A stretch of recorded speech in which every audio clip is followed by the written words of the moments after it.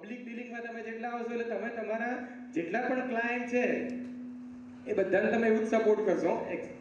સાંભળજો ભાઈ આ લોકોને. એક્ઝામ વખતે સાંભળજો. એક્ઝામનો બહુ ક્રિટિકલ ટાઈમ હોય છે. એટલે અગેન આ એક બહુ જ ક્રિટિકલ ટાઈમ હોય છે કે જેને કારણે ઘણી માનસિક તકલીફો પણ આવી જતી હોય છે.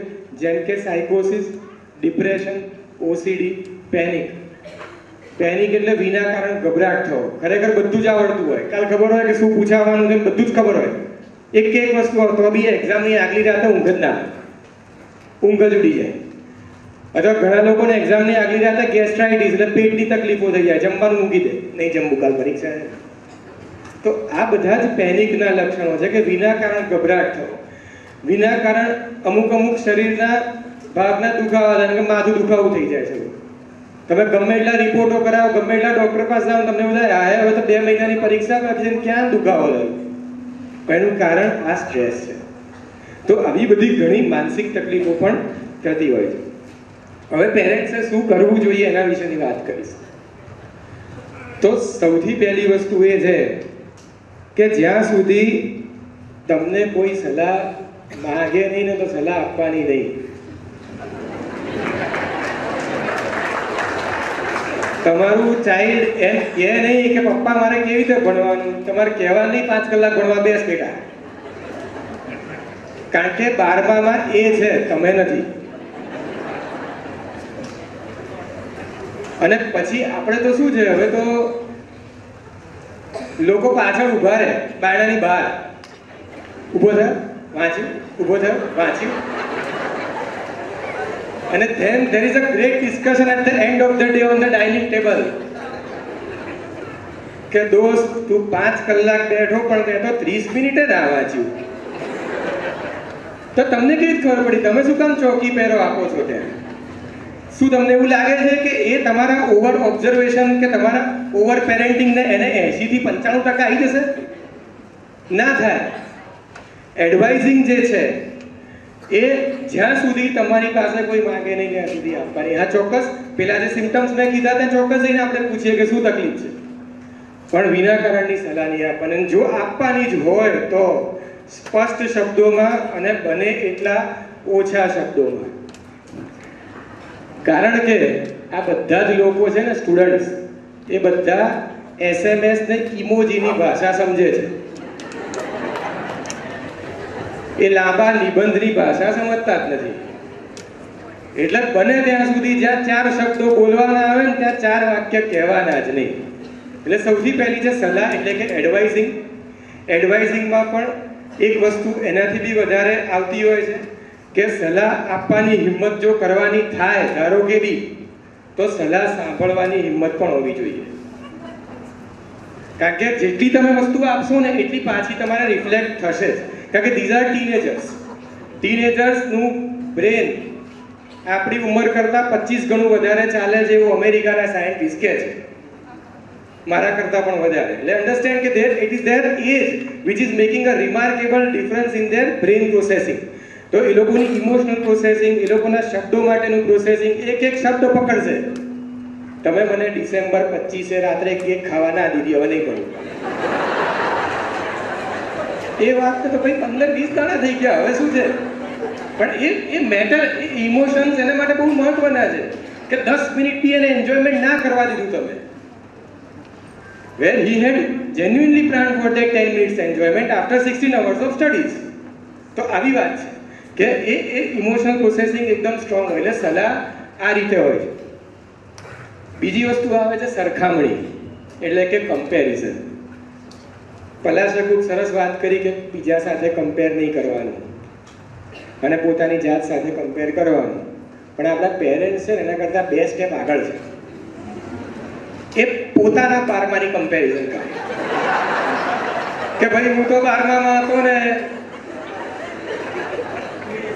પણ તમારે ક્યાં નીટ હતી? તમારે ક્યાં ટેલિગ્રાફ હતું? અને તમારે ક્યાં વોટ્સએપ હતું? અને તો લોકોને દસમાં બેનપણીઓ હોય છે તમારે ક્યાં હતી? તો this is a era of distractions not very distractions એટલે આપણા બારમાના અનુભવ આમાં કામમાં નહીં લાગે.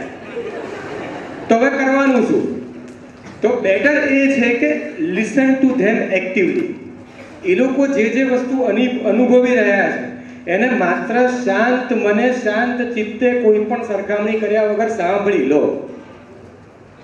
જે લોકોના લગ્નના પાંચ વર્ષ થયા છે, આ વાત સમજી જશે. કે કોઈ પણ વસ્તુ શાંત મને કોઈ પણ નિર્ણય લીધા વગર સાંભળી લો ને તો બધા પ્રોબ્લેમ સોલ્વ થઈ જાય.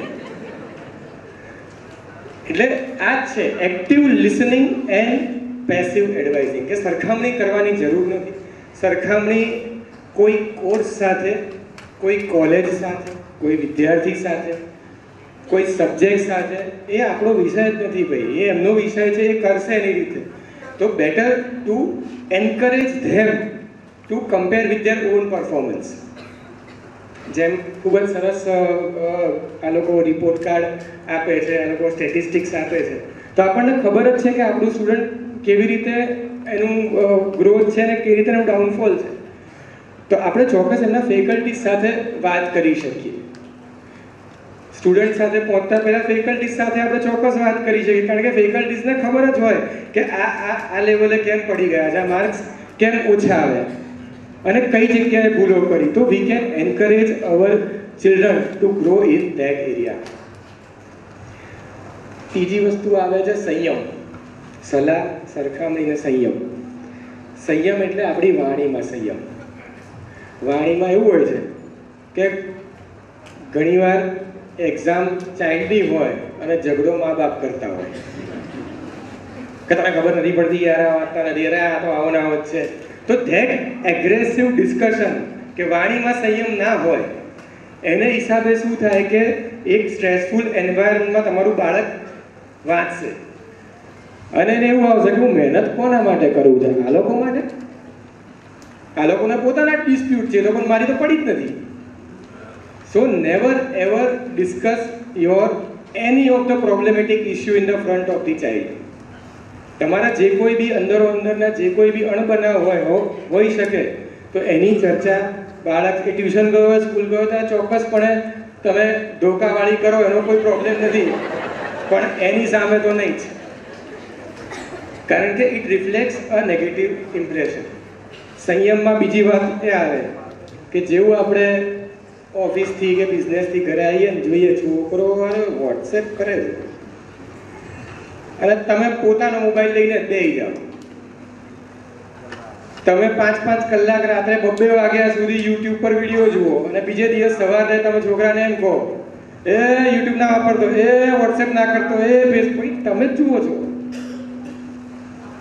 તમે તમારી લાઈફસ્ટાઈલમાં જે વસ્તુ કરી રહ્યા છો તો પહેલા તો લર્નિંગ થવાનું જ છે ને, કે પપ્પા એ કરે છે લાવો ને આપણે હું વાંધો છે. કારણ કે આને સાયકોલોજીની ભાષામાં સોશિયલ લર્નિંગ અથવા ઇમિટેશન કે કે જે બાળક જુએ છે ને, એવું એનું અનુકરણ કરશે અને એવું સમજશે કે આ તો નોર્મલ જ છે. સેમ ગુસ્સામાં પણ એવું. સેમ નિરાશામાં પણ એવું છે. કે જેવું ઇમોશનલ એન્વાયરમેન્ટ ઘરનું હશે, એવું જ રિફ્લેક્શન બાળકના ઇમોશનમાં પડવાનું છે. સોરી બાળક નહીં ટીનેજર કારણ કે આ સંયમ રાખવો પણ ખૂબ જરૂરી છે. અને છેલ્લી વસ્તુ- છે, એ છે સાવચેતી. જ્યારે જ્યારે તમને એવું લાગે કે આ બાળક કે મારા ટીનેજરનું વર્તન સાવ જુદું છે, આવું તો ક્યારે આ સત્તર વર્ષમાં કે આ સોળ વર્ષમાં બનેલું જ નથી, ત્યારે ચોક્કસ સાવચેતી લઈને એને પહેલા જ વાત કરવી. નિખાલસપણે તમારા મનમાં જે પ્રશ્નો હોય બધા પૂછી કાઢવા. આ પૂછતા પહેલાં એમની અપોઇન્ટમેન્ટ લેવાની કે તારી પાસે પંદર મિનિટનો ટાઈમ છે તો આપણે વાત કરીએ. ના literally make them feel important in those fifteen minutes તમારા અઠવાડિયે આપેલી પંદર મિનિટથી આપણો જે ટીમ છે કે આપણું આપણું ચાઇલ્ડ છે, એ શાંત મને એક્ઝામ આપે અને જીવનમાં આગળ વધે, તો આપણે કંઈ ગુમાવી નથી રહ્યા. એટલે આપણે દર અઠવાડિયે પંદર મિનિટ માત્ર આની જ વાત કરવાની કે તમને કોઈ બીજા અંગત ઇશ્યુઝ હોય તો તમે કહી શકો. અને છેલ્લે છેલ્લી વાત અગેન એક વાર્તા છે, બે બિલાડીને વાંદરાવાળી. એમાં તો ખબર જ છે કે બે બિલાડીઓ રોટલી ભાળી ગઈ અને પછી ઝઘડવા માંડી. એટલે વાંદરો આવ્યો અને ત્રાજવાથી જોવા માંડ્યો. એમ એમ કરતાં વાંદરો રોટલો ખાઈ ગયો. તો આ બે બિલાડીઓ પેરેન્ટ અને ચાઇલ્ડ ના હોવા જોઈએ. નહીં તો સ્ટ્રેસ અને સાયકેટ્રિક ડિસઓર્ડરવાળા વાંદરાઓ છે ને, એ તમારી એક્ઝામ થઈ જશે. એટલે માત્ર એક્ઝામના સ્ટ્રેસ કોઈ પણ જાતના તમારા ફેલિયરને કારણે તમારા અંદરો અંદરના સંબંધ ના બગાડો. પેરેન્ટ અને ચાઇલ્ડના રિલેશનશિપ લાઈફ ટાઈમ છે. એક્ઝામ બે વર્ષમાં અહીં જતી રહેશે. લાસ્ટલી જીવન પરીક્ષા જેવું છે. દરેકને દરેક ડગલે ને પગલે પરીક્ષા આવવાની જ છે. પરીક્ષા એ જીવનનો ભાગ છે. પણ એટલે કે life is equal to exam પણ એક્ઝામના સ્ટ્રેસને જીવન ના બનાવો. Thank you so much for listening to me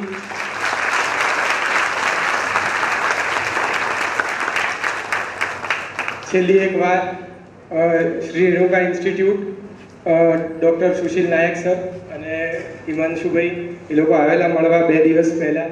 Thank you so much for giving me this opportunity આ પંદર મિનિટ જે આપણે વાત કરી, એ તમે ફોલો કરવાનું અત્યાર શરૂ કરશો ને તો માર્ચમાં પૂરું થશે. એટલે અમારા આ જોતા ખાસ કરીને પેરેન્ટ્સને એક રિક્વેસ્ટ છે. Thank you